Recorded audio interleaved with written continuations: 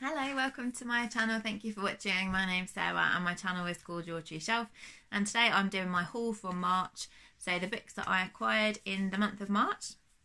Um, I will start with um, three books which I got from um, the secondhand bookshop at Ickworth House, which I visited with my parents this month. Excuse me. So the first one is um, The Lady and the Unicorn by Tracy Chevalier. I read um, The Last Runaway by Tracy Chevalier last year and I loved it. And so when I saw this, um, I wanted to get it, and it's in mint condition as well. This is um, I wouldn't normally pick this up necessarily, so it's kind of taken out my comfort zone from the from the blurb. So it's about Jean Jean Le Viste, a 15th century nobleman close to the king, who hires an artist to design six tapestries celebrating his rising status at court. Um, so it says um, then the person he was hired. Um, it says he catches sight of his patron's daughter, and his pursuit of her pulls him into the web of fragile relationships between husbands and wife, parents and children, lovers and servants. So um, it sounds like I don't really read stuff that's set that long ago. Um, so I am going up my comfort zone, like I said, but I'm confident that I'll still enjoy it because I enjoyed her, The Last Runaway, so much, and also Remarkable Creatures I've loved by her as well. Next was a book I've never heard of, and um, I think it's a book in translation. Yeah. So that's called. This is called The Reader on the 627 by Jean-Paul Didierlaurent, um, and it's translated by Ros Schwartz. Um, so it's. I just thought that the the blurb sounded really lovely. So it says, um, Guylain Vignolles lives on the edge of existence, working at a book pulping factory in a job that he hates, but he has one pleasure in life. Sitting on the 627 train each day, Gillian recites aloud to a rapt audience from pages he has saved from the jaws of the pulping machine. But it is when he discovers the diary of a lonely young woman, Julie, a woman who feels as lost in the world as he does, that his journey will truly begin. I just love that. Like, I didn't. Yeah, he has to pulp books and then he saves them and reads them to other people on the train journey. That just sounds so cool. Um, so I'm really looking forward to reading that. Sounds really lovely and cozy. And then the final one that I um, found in the secondhand shop um, is by Joanne Harris and um, Simon of Savidge Reads really likes Joanne Harris. I've never read anything by her before. And this one sounded the most appealing out of the books that are there. So this is Blackberry Wine by Joanne Harris. Um, it's basically um, so it says Jay Mackintosh is trapped by memory in the old familiar landscape of his childhood, and more entice more enticing than the present, and to which he longs to return. A bottle of homebrewed wine left to him by a long vanished friend seems to provide both the key to an old mystery and a doorway into another world. As the unusual properties of the strange brew take effect, Jay escapes to a derelict farmhouse in the French village of Lansquenet where a ghost from the past waits to confront him. So, so there's some magical realism, some time travel. I love the front cover, um, and another book with a French connection. Okay, so the next one, two, three, four, five. Um, one of my colleagues at work has. He said he's got about 500 books that he's sorting through, and he's bringing in ones um, that he no longer wants. Uh, so I managed to get first dibs on the first lot he brought in. So I chose this one, which I've never heard of before um, My Life in Houses by Margaret Forster. This sounded really lovely. Um, basically, it says on the back um, I was born on the 25th of May 1938 in the front bedroom of a house in Orton Road, a house on the outer edge of Raffles, a council estate. I was a lucky girl. So begins Margaret Forster's journey through the houses she's lived in, from the sparkling new council house to her beloved London home of today.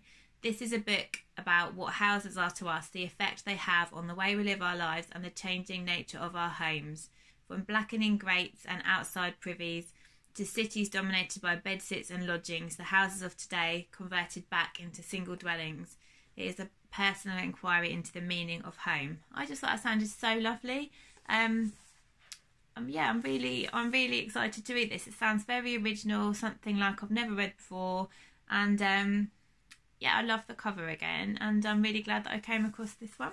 The next one is something I would never have picked up normally, um, so it's out of my comfort zone again. Um, but I just thought it might be our kind of fast-paced, easy read. Um, and it says that fans of Apple Tree Yard will like it, and I loved Apple Tree Yard. So this is called The Loving Husband um, by Christabel Kent. Uh, this is um, Fran Hall and her husband Nathan have moved with their two children to a farmhouse on the edge of the fens, a chance to get away from London and have a fresh start. But when Fran wakes one night to find Nathan gone, she makes a devastating discovery. As questions about her husband and her relationship start to mount, Fran's life begins to spiral out of control. What is she hiding from the police about her marriage, and does she really know the man she shared her bed with? Like I said, I went and bought it, seeing as it's free. I thought it sounded good. The next one is called Dangerous Crossing by Rachel Rhys. Again, another one I've never heard of. Just really nice to have all of these um, new books.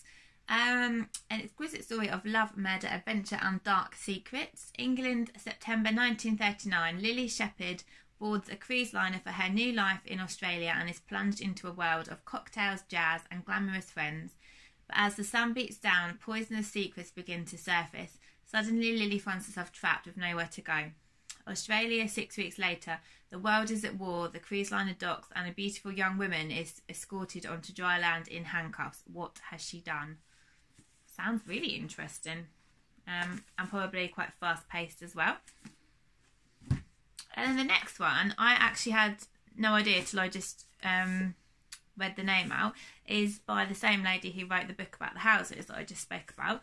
Um, this is How to Measure a Cow, and I'm pretty sure I picked this up and put it down a few times when it was new, um, which was probably last year or the year before, I think. Um, oh, 2016, longer ago than I thought. So this says Tara Fraser has a secret.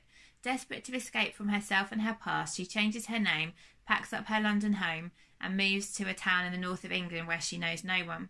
But one of her new neighbours, Nancy, is intrigued by her, and hard as Tara tries to distance herself, she starts to drop her guard. Then a letter arrives. An old friend wants to meet up. Struggling to keep her old life at bay, Tara soon discovers the dangers of fighting the past. Sounds interesting. Um, so one more from my colleague at work. Um, that is Angel's Game by Carlos Ruiz Zafón, which is part of the uh, Cemetery of Forgotten Books trilogy. Um, the first one being The Shadow of the Wind, which I had on audio and really enjoyed. And so this is the next one, I believe, um, in the trilogy. And then I have three more to go. So one of them is one that I found that I've wanted for ages, and I found it in the supermarket because um, it must have just come out in paperback and the writing is really small but never mind. Um, that is Lost Connections by Johan Hari so I saw Johan Hari at um, the Norwich Literary Festival last summer and I thought he was absolutely brilliant brilliant even. He um, he is a journalist who has suffered with depression for a long time and he's researched extensively about depression and the best ways to cure depression, why it happens, whether antidepressants actually work or not, and how we manage depression in our society versus in other places in the world. And he was such a good speaker, and I thought he was just so interesting, and um, it really kind of, you know, doing the job I do and seeing so much mental illness. It was a fantastic um, talk that he gave, and so I really wanted to read his book, Lost Connections, and um, now I have finally got a copy, which is um, going to be very interesting to read. And then the final two are by the same author, um, and they are both by Mark Thomas, who um, is a political comedian and journalist and um, all round amazing human being. And I went and saw him live, um, I think for the third or fourth time last week with my husband and he was doing a talk about the NHS which was called Checkup our NHS at 70 and um, this book here is a very very small book which is basically the um the script from the show. And um he it's got some some photos inside as well Um, and it's basically he spent time shadowing um, for a month in different doctors and nurses in four London hospitals. He spent some time in general practice and he interviewed politicians and ministers um, who are involved in past and present healthcare um, to get their take on things. And it's really funny as well because obviously he's a stand up. So, um, yeah, he's blessed his heart. He came and spoke to me at the end, and or I went and spoke to him, should I say? Um, and he signed both the books for me. And um, so this will be a treasured one to add to my collection of his books. And then this one I also chose, 100 Minor Acts of Dissent, because um, I saw the show that went with this one um, whenever it was, maybe a couple of years ago. Um, and it's basically where he has, um, well, it's 100 Minor Acts of Dissent that he's done over a year some some big, some small. Some of them are just really hilarious, but they've always got a moral objective. So he's trying to achieve something through humour, and there's lots of pictures in this book. Um, when I was just flicking through now, I found one about Tesco's. Where is it? So I can't remember exactly what the message was um, in terms of why they were doing this, but so um, they've just changed the signs in some Tesco's um, shelves, so they've gone with exactly the same fonts. You wouldn't actually notice unless you read it that they've changed. So, for instance, they've got um, here you can see CCTV blind spot. Um, here two for the price of four. Sugar, one of your five a day. Tiramisu, lacks adventure and taste. Um, this is probably my favourite one here. Day after day after day it's always the bloody same. Um, so he's it, it's just it's funny and it has got a political message to it. And um, again, I've um, you know I really love his books, and so I'll add them to my treasured collection. And so yeah, that's the books that I hold in the month of March.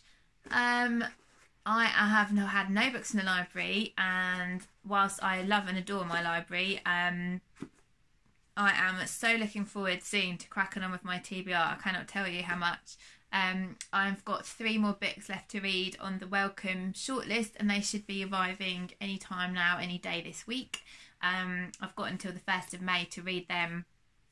Um, that's because that's when the winner is announced. So I look forward to doing that. And fingers crossed, Simon and I are going to meet up at the end of this month to go through um, the shortlist because we've been reading it together um, so that we can say our thoughts and predict our winner. Um, so that should be lovely. And um, I hope you are all um, acquiring lots of lovely books and I will speak to you all soon. Bye bye.